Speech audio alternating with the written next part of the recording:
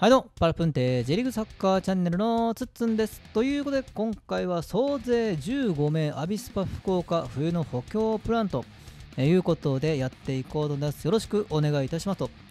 いうことで、さあ、ルヴァンカップも決勝進出と。えー、いうことでね、あとはまあリーグ戦の、ね、最終順位決定次第では、まあ、正直、ね、補強に使えるお金も増えるんじゃなかろうかっていうところ、ちょっとね、まあ、トスと一緒で債務超過の問題がありますんで、まあ、債務超過の、えー、ところも意識しながら、まあ、全く、ね、補強がないわけではないと思いますんで、じゃあね、今の福岡に合う選手15人ほど、えー、紹介をしていこうと思います。よろしくお願いいたしますと。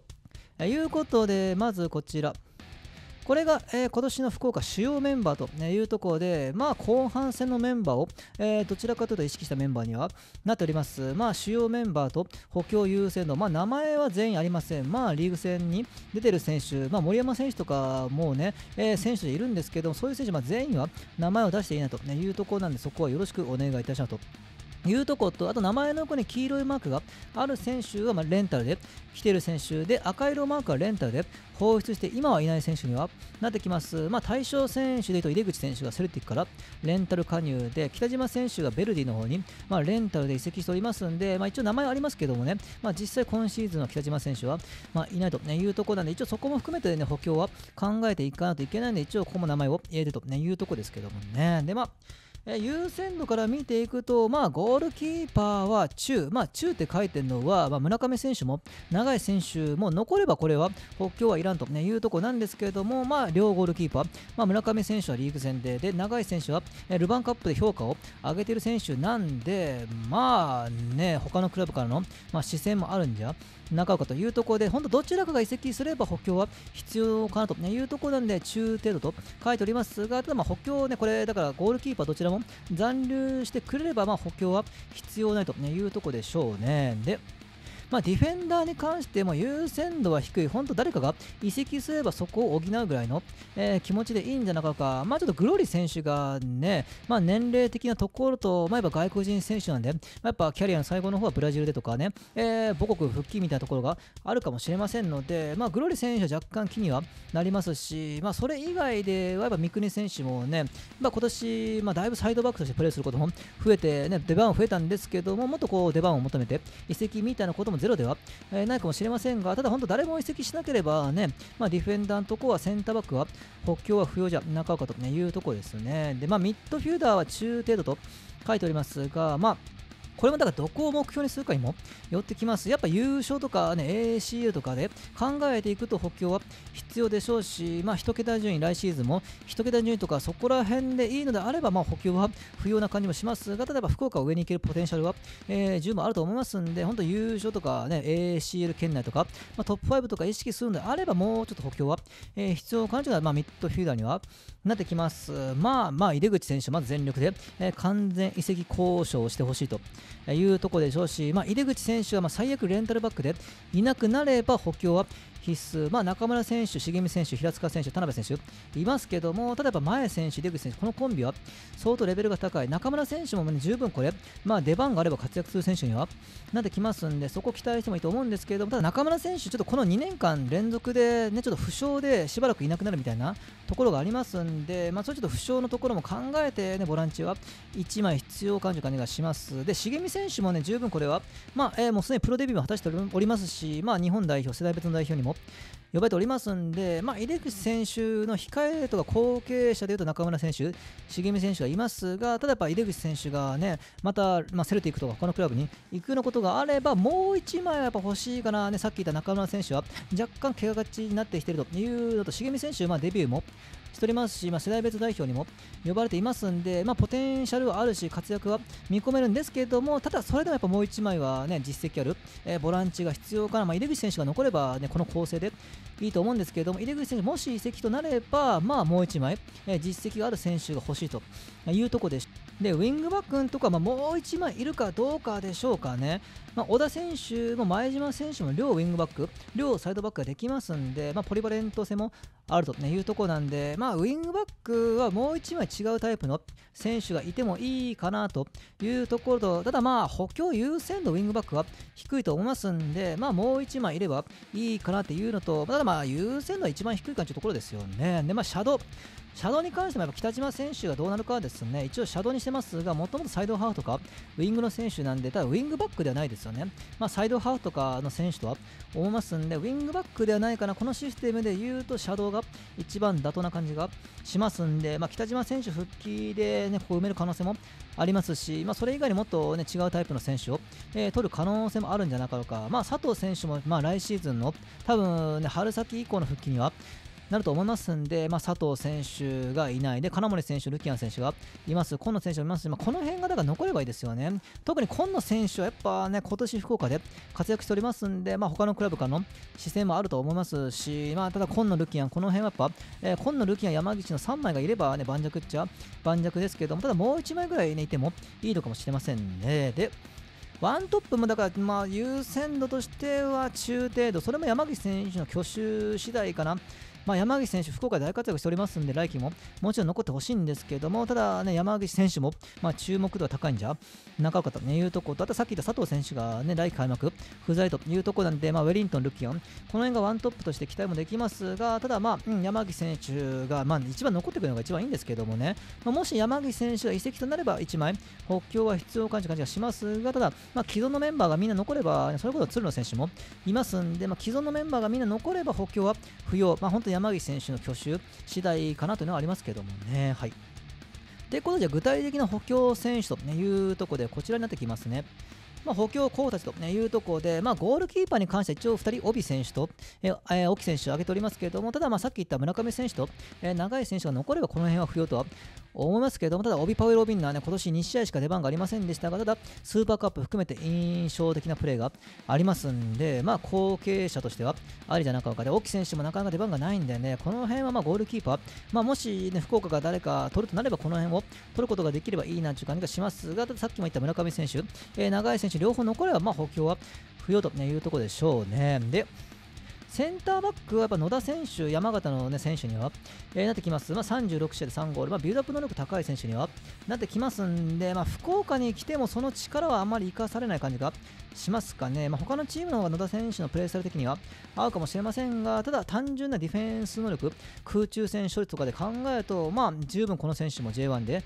やると思います。で、でえー、次が、あ、そうか、名前出しておりませんでしたね。やっぱ岡山柳選手？柳選手こそ福岡に合う選手は中岡というところで、そうです、名前出しておりませんでした。すいません。えー、柳選手もセンターバックの補強としては十分あるんじゃないか。まあ、年齢的にも20代後半なんで、柳選手もですけどもね。まあちょっとね、J1 に挑戦するのはまラストチャンスぐらいかなと思いますんで、まあ、名前出しておりませんでしたけどね、思い出した、まあ、柳選手ですね。もう十分合うと思うんですけどもね。で、あとはレイソルでちょっと苦しんでる達田選手、本当ね、レイソルではまあ18試合出ております。が、た犬飼選手、加入がちょっとベンチ外、ベンチがベンチに落ちておりますんで、まあ、十分ポテンシャルは、ね、高い選手にはなってきますんで、まあ、福岡で本当のポテンシャルを、えー、才能開花となるかどうかというところでしょうかね。で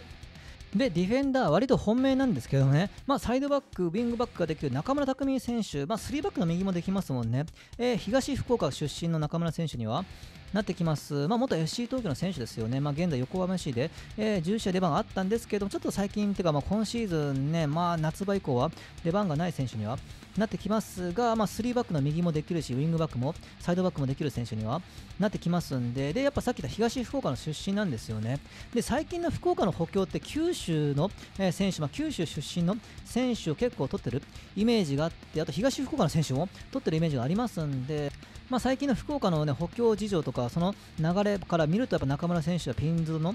補強になるんじゃないか、本当、ばっちり合うと思いますけどもね。で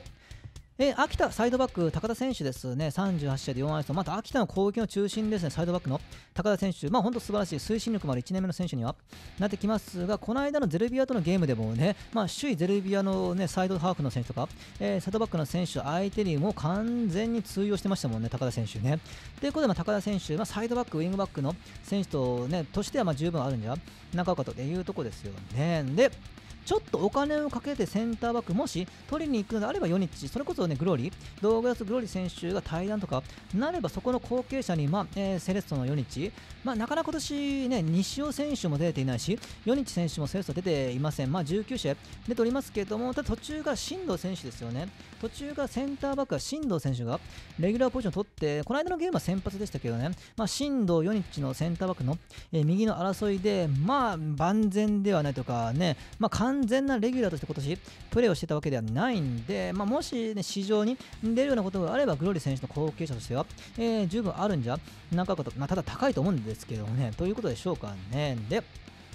えー、中盤でいうと木田選手、まあ、ウィングバックとかシャドウとか、まあ、センターフォワードもできる、マルチに活躍できる仙台の選手、ウィングバック、サイドハーフトップ下、本当、ね、どこでもできる選手にはなってきます。ツートップの一角もできますもんね、木田選手。もともと V・ファーレン長崎出身の選手で、まあ、この選手は本当ね、1年目から長崎で活躍してた選手でございます。まあ、今年も35試合で、6ゴール3アシと、まあ、しっかり数字を残しておりますんで、まあ、それこそさっき言ったウィングバックもできる、どこでもできる選手にはなってきますんで、ちょっとウィングバックとかシャドウ、まあ、だから、ね、この木田選手1人で複数ポジションの補強にはなるというところなんで、まあ、十分木田選手も可能性としてあると思いますけどもね。で、ウィングバックで言えば近藤選手、まあ、横浜市26試合で1ゴール3アシと、まあ、立派な数字残した近藤選手、まあ、右のウィングバックの選手になってきますんで、まあ、ウィングバックの補強を考えるのであれば、この辺はね、候補として上がってくるんじゃなかろうかというところと、ボランチ、それこそさっき言った、ね、入口選手がもしいなくなった場合は、やっぱ桑崎選手33試合で1ゴール2アシと決めて桑崎選手にはなってきます。まあ、ダブルパンチの一角とか、ね、アンカーとか、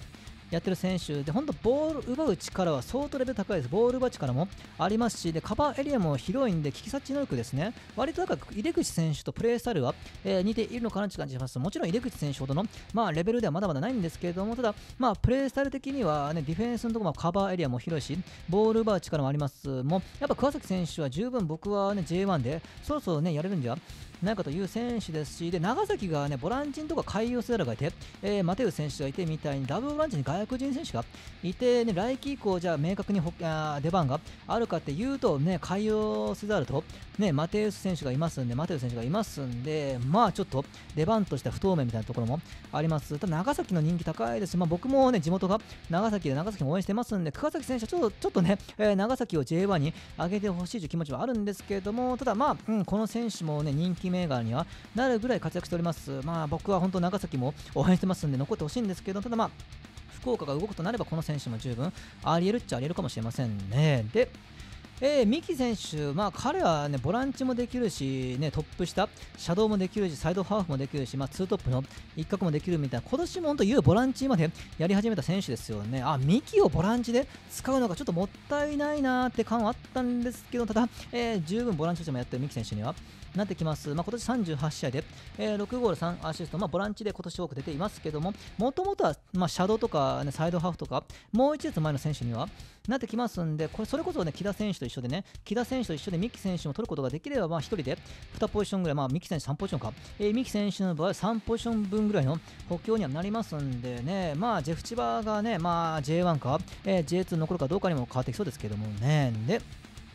甲府長谷川元樹、まあ、36試合で、えー、7ゴール6アシスト、まあ、まあ、毎年とか、まあ、新人以来、本当に7ゴール6アシストみたいな、しっかりこう毎年、ね、5ゴール5アシスト以上は、えー、決めてくるみたいなイメージがありますけどもね、いや、本当得点能力もあるし、アシスト能力も高い選手、まあ、今年はサイドハーフでの出番が増えておりますが、この選手もトップ下もできる選手にはなってきますんで、まあ、長谷川ね、そろそろ J1 でやってもいいんじゃなかろうかという選手ですよね。で、大分から藤本選手ですね、ウィングバックとかね、サイドの選手にはなってきます。35試合で6ゴール、えー、2アシスト、まあ、ウィングバックもできるし、サイドハーフもできるし、3トップの、えー、とこもできるというところで、シャドウもできますんで、本当どこでもできる選手ですよね。まあ、ウィングバック、シャドウ、ね、3トップの左とか、えー、できますんで、まあ、得点能力ある2列目と考えると、まあ、可能性はあるじゃないか。まあ、ウィングバックとして、ね、取れれば一番でかいですよね。で、まあ、鹿島から荒木選手はどうなんだろうな、なんかね、鹿島もそろそろ荒木選手をどうするか、なかなかチームスタイルには合っていないし、ただこの間、岩政監督が神戸戦で荒木選手をトップ下で使うみたいな、ちょっと変化はありますんで、ちょっと分かりませんが、ただ荒木選手もちょっと環境を変えた方がいい選手じゃなかろうかと。で、こういう選手が福岡に来て活躍するみたいなところは今野選手で証明しておりますんでね、まあちょっとね、見てみたい選手とは思いますけどもね。で、あと、フォワード、寺沼選手ですかね、水戸、まあ、それこそ長谷部監督でいうと、水戸との、えー、ところもね、まあ、強固なラインがあります、まあ、平塚選手もそうですけどね、まあ、水戸からも十分コネクションありますんで、まあ、新人ながら36試合で7ゴール2アシスト決めております。で、この選手のいいところは1年目ですけど、ね、まだ、えー、まだ1年目ですけど、188センチで88キロというところなんで、188センチ、88キロ、まあ、重戦車みたいなプレーが得意というところで、まあ、ポストプレーもできますし、ただ、裏抜けからちょっとラインブレイクとか最終ラインの駆け引きところはまだまだ感じもしますが、ただ本当にね、ロマンが、ね、本当魅力ある選手にはなってきますんで、まあ、この選手の獲得も十分あるんじゃなかろうかというところになってきますけどもね、はい。では、になりますね、ジョパルプンテージルサッカーチャンネルのつつんでしかったチャンネルます。その